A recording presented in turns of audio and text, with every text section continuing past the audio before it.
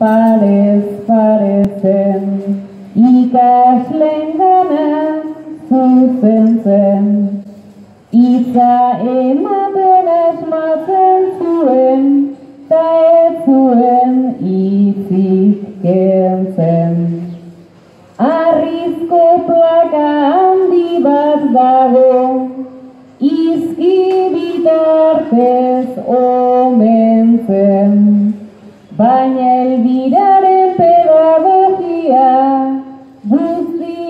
guztinezkoa omen zen.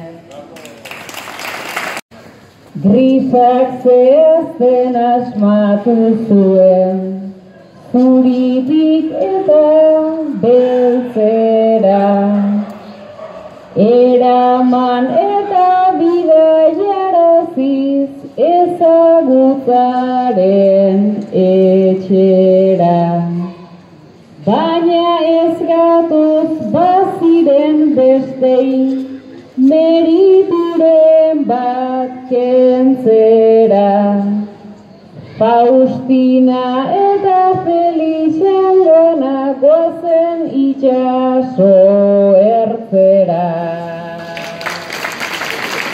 Bat ausartan beste bat urduri, esku gogorrik gabe beti bihotz guri.